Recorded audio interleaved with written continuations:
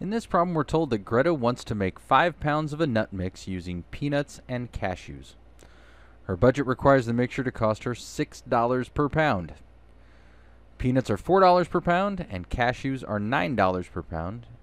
And we're asked how many pounds of peanuts and how many pounds of cashews should she use? So I've set up this table here. The number of pounds times the value of each pound equals the total value. So with peanuts, let's make the number of pounds P. So let P equal the number or the, or the number of pounds of peanuts. The value we're told is $4 per pound. So the total value is $4 per pound times P, the number of pounds of peanuts.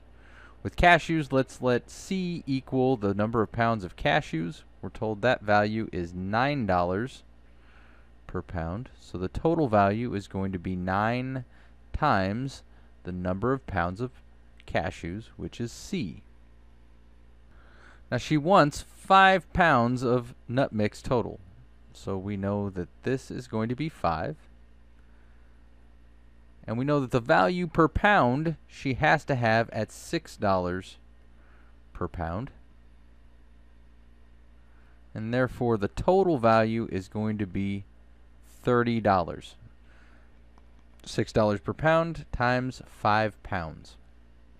So what system of equations can we set up from this? Well, we know the number of pounds of peanuts plus the number of pounds of cashews is going to be 5 pounds. So P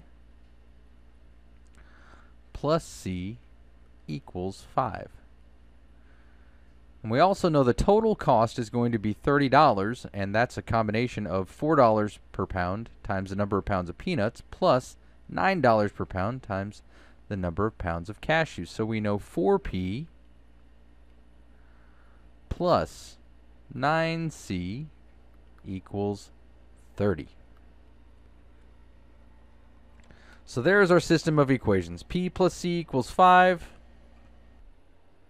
And 4P plus 9C equals 30. So let's use elimination in this case.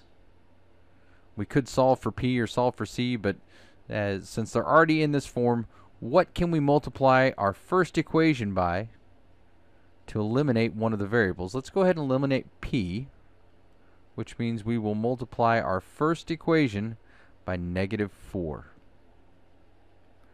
And that's because we have 4p in our second equation. So what that gives us, distributing the negative 4, we have negative 4p plus negative 4c, so I'm just going to go ahead and make that a minus, minus 4c equals 5 times negative 4 is negative 20.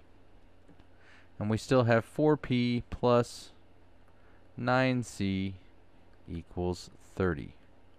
Now we can just add the two equations to eliminate p. So negative 4p plus 4p, those cancel. Negative 4c plus 5c, or plus 9c is 5c. And then negative 20 plus 30 is 10. And then dividing both sides by 5, we get c equals 2 pounds of cashews. So now we substitute C equals 2 pounds.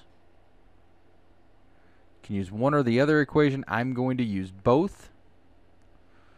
So again, we started with P plus C equals 5. So P plus C equals 5. We'll substitute C equals 2. So P plus 2 equals 5. Subtract 2 from both sides and we get P equals 3 pounds.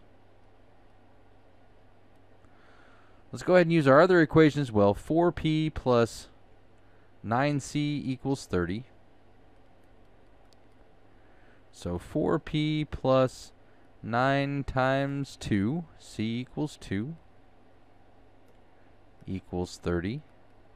So 4p plus 18 equals 30. Subtract 18 from both sides, we get 4p equals 12.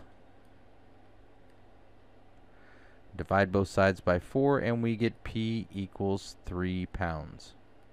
So before we check, so far we have found that Greta should use 3 pounds of peanuts and 2 pounds of cashews. So now we'll go ahead and check. So we have P plus C equals 5. So we want to know does 3 plus 2 equal 5? And indeed it does. 5 equals 5, so it checks in our first equation. And then we have 4p plus 9c equals 30.